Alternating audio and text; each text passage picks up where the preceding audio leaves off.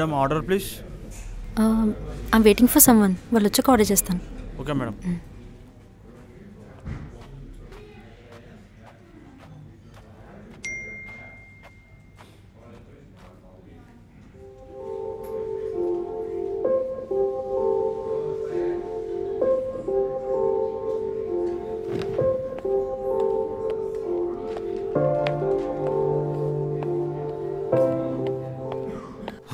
Open కావే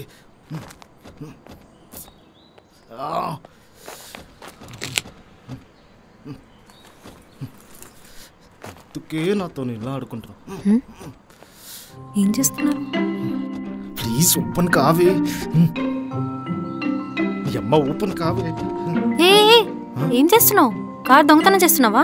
అబ్బే లేదండి. Just door open చేయడానికి ట్రై చేస్తున్నాను అంతే. దాన్నే మా భాషలో దొంగతనం అంటారు. అరే కాదండి. ఇది నా కార్. మర్చిపోయి కీస్ లోపల ఉండిపోయింది. డోర్ వేసాను లాక్ పడిపోయింది. ఓ అవునా? స్టోరీ చాలా బాగుంది. పోలీసులు వచ్చాక సేమ్ స్టోరీ చెప్పు నమ్ముతారేమో. అరే నేను చెప్పింది నమ్మండి. ఆ, కావాలంటే కార్ లోపల నా ఫోన్ ఉంది. నేను నెంబర్ చెప్తాను కాల్ చేయండి. ఒకవేళ మోగకపోతే మీరు అప్పుడు పోలీస్కి ఫోన్ చేయండి అప్పుడు నేనేమన్నా. సరే నెంబర్ చెప్పు. రింగ్ అవ్వకపోలి అప్పుడు చెప్తాను నీ పని. Nine five four two double three four six four six.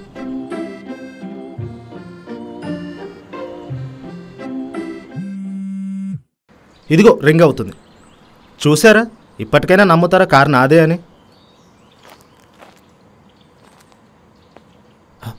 Hello.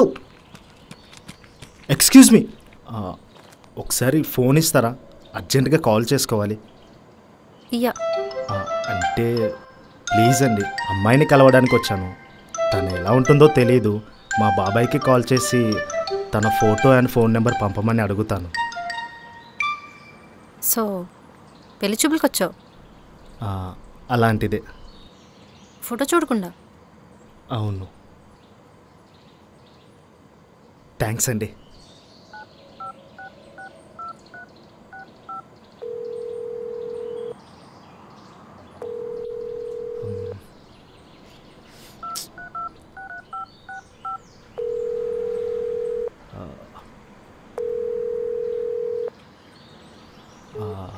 Unknown number అని లిఫ్ట్ చేయట్లేదు అనుకుంటా. ఇది నేనే అని మెసేజ్ పెట్టొచ్చా.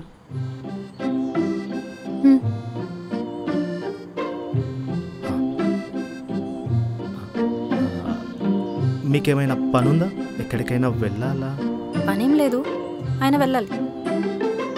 అంటే మా బాబాయ్ మెసేజ్ చూసుకొని కాల్ చేసే వరకు ఉండొచ్చు కదా ప్లీజ్. మీ బాబాయ్ కాల్ చేసే వరకు నేనేం చేయాలి? వెయిట్ చేయాలి. ఆహా. మీరు లోపలికి వెళ్ళి ఏదైనా ఆర్డర్ చేసుకోండి ఆలోపు నేను వచ్చి బిల్ పే చేస్తాను. అంటే? నా దగ్గర డబ్బులు లేవా? నువ్వే వచ్చి కట్టాలా? నేను కట్టుకోలేనా? అయ్యో నా ఉద్దేశం అది కాదండి. మీకు ఎలాగో నా వల్ల టైం వేస్ట్ అవుతుంది కదా.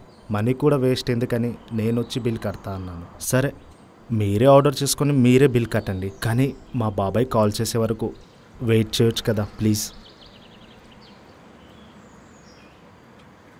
నా కోసం కాకపోయినా ఆ అమ్మాయి కోసమైనా? ప్లీజ్.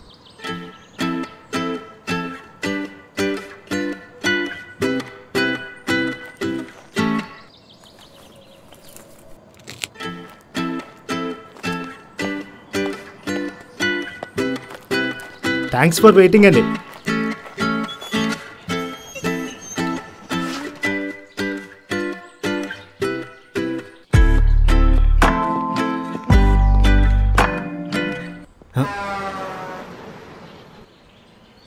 అంటే నన్ను చూడ్డానికి వచ్చిన అమ్మాయి అనుకున్నానండి.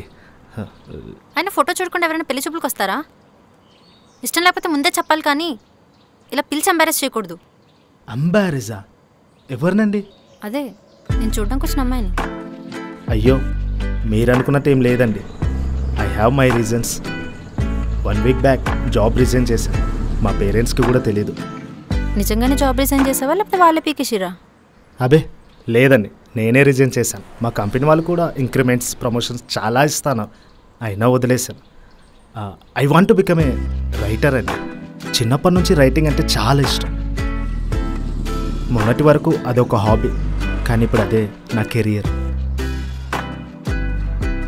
సో ప్రాక్టికల్గా ఆలోచిస్తే ఇప్పుడు నేను జాబ్లెస్ కాబట్టి ఆటోమేటిక్గా తను నో చెప్పొద్దు.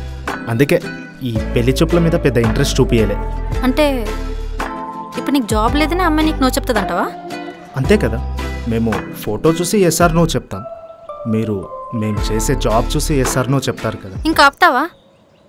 ఎంత చెత్తగా ఉందో తెలుసా నీ ఫిలాసఫీ అయినా ఇప్పుడున్న సిచ్యువేషన్స్లో ఎవరు అలా లేరు? మేము కూడా జాబ్ చేస్తున్నాం. ఇంకా చెప్పాలంటే మీకన్నా ఎక్కువ సంపాదిస్తున్నాం. అండ్ మోర్ ఓవర్ నువ్వు జాబ్ వదిలేసాం బేవస్గా తిరగట్లేదు కదా. నీ ప్యాషన్ని ఫాలో అవుతున్నావు. అదేం పెద్ద తప్పు కాదు. ఒకవేళ అమ్మాయి నీకు నో చెప్తే నీకు జాబ్ లేదని కాదు. నీకు బ్రెయిన్ లేనందుకు నో చెప్తుంది. ఓకే అండి. నేనేదో జనరల్గా అన్నాను. మీరెందుకు నా మీద సీరియస్ అవుతున్నారు? నేనేదో మిమ్మల్ని అన్నట్టు.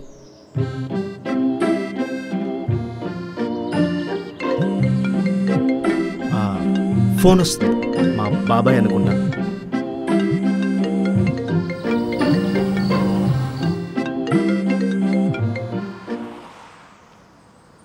హలో. అమ్మా. ఇంకా లేదు. కలుస్తాను. అయినా ఎందుకమ్మా ఈ పెళ్ళి చూపులు? ఎలానో వర్కౌట్ అవ్వమని తెలుసు కదా. ఏం ట్రై చేయాలమ్మా? ఆల్రెడీ ఎంగేజ్మెంట్ అయ్యి క్యాన్సిల్ అయిందంటే ఎవడొప్పుకుంటాడు? చెప్తే అర్థం చేసుకునేంత తెలివి ఎవరికి లేదు ఇక్కడ. నేనే ప్రాబ్లం అని చెప్పి వెళ్ళిపోతారు. సరేలే. కలిసాక నేనే కాల్ చేస్తాను. బాయ్.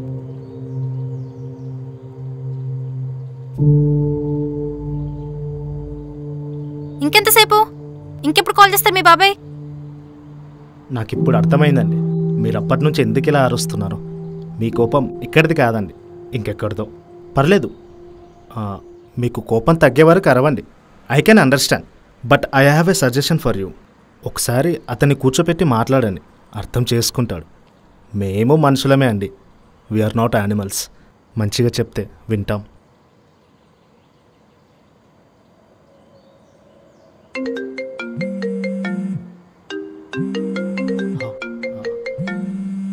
హలో? ఆ బాబాయ్ నేను కిట్టిగాని మాట్లాడుతున్నా. హా బాబాయ్ ఒకసారి ఆ అమ్మాయి ఫోటో అండ్ నెంబర్ పంపించావా? అదంతా నేను తర్వాత చెప్తలే బాబాయ్ ముందు నువ్వు ఆ ఫోటో పంపు కదా.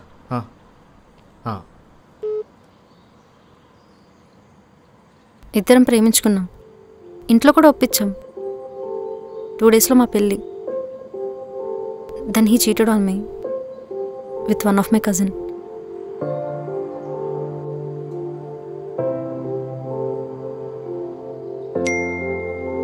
message వచ్చింది. సరే.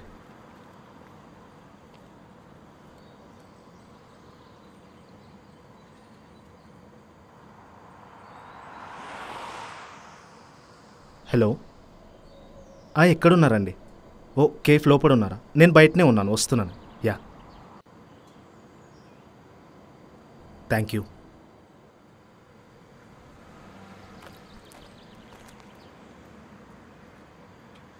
తప్పు వాడు చేశాడు. మీరు కాదు. ప్రాబ్లం కూడా వాడిలో ఉంది. మీలో కాదు.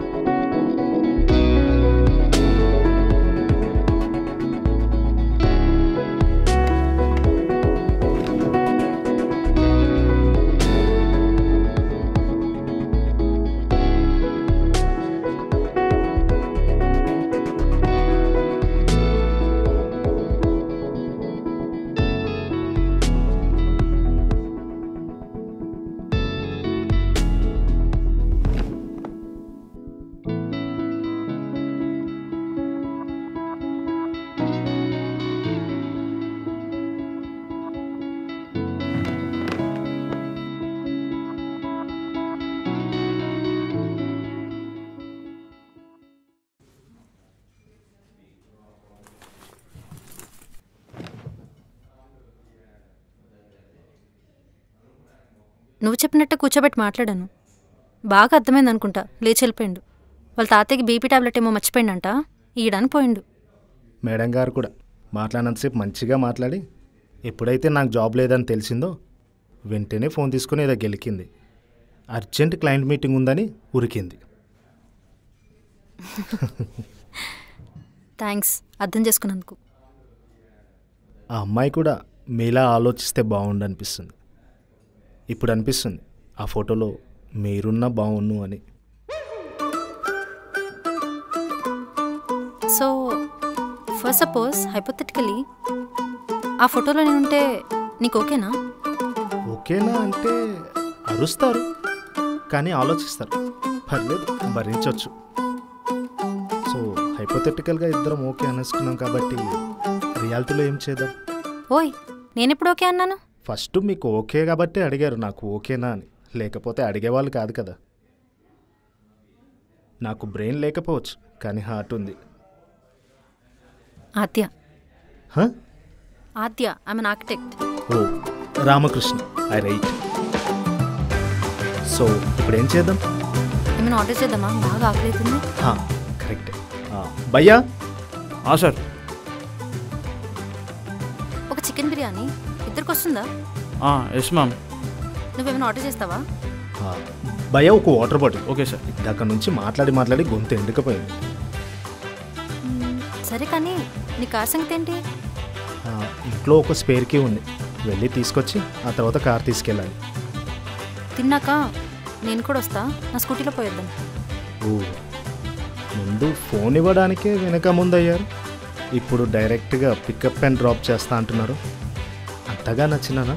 అంత ఊహించుకోకే నీకంత సీన్ లేదు. పాపమని హెల్ప్ చేస్తున్నా అంతే. సరే మీ హెల్ప్కి thanks hi guys thank you so much for watching this video మీకు కనుక ఈ వీడియో నచ్చినట్లయితే లైక్ చేయండి మీ ఫ్రెండ్స్కి షేర్ చేయండి అండ్ కింద కామెంట్ బాక్స్లో పక్కాగా కామెంట్ చేయండి మీకు ఎలా అనిపించిందో. అండ్ ఇలాంటి వీడియోలు మీకు మళ్ళీ మళ్ళీ కావాలనిపిస్తే మన ఓన్ ఫ్లిక్స్ కనిపిస్తుందిగా సబ్స్క్రైబ్ చేయండి. సబ్స్క్రైబ్ ముఖ్యం మీకు మర్చిపోకండి.